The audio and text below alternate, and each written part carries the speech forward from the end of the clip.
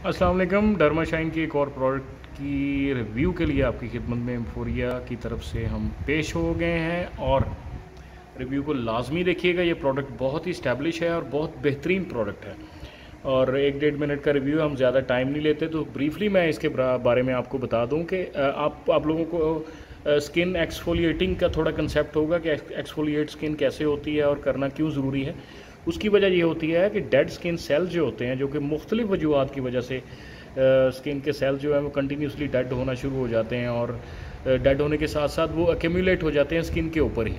तो उसकी वजह से आपकी जो पोर्स होती हैं ना, वो क्लॉग हो जाती हैं, वो बंद हो जाती हैं, जिसकी वजह से अंदर जो ऑयल तो बन रहा है, लेकिन आपकी पोर्स बंद होने की वजह से अल्टीमेटली वहाँ पे ऑयल ज़्यादा इकट्ठा हो रहा है और सीबम की उस एक्सेसिव ऑयल की वजह से एक्नी हो रही है।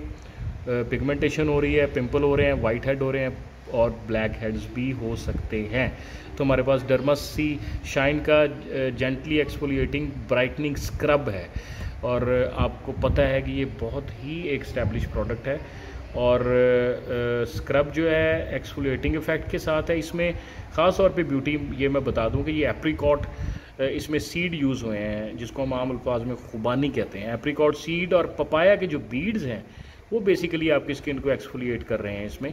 डेड स्किन सेल को वो रिमूव कर रहे हैं, आपकी जो पोर्स हैं उनको अनक्लॉग कर रहे हैं ताकि अगर वहाँ पे एक्सेसिव ऑयल की प्रोडक्शन हो रही है तो वो ऑयल बाहर निकले और वो बैलेंस हो जाए आपकी स्किन का ओवरऑल जो एक एटमॉस्फेयर है जिसकी वजह से आप बच सकते हैं।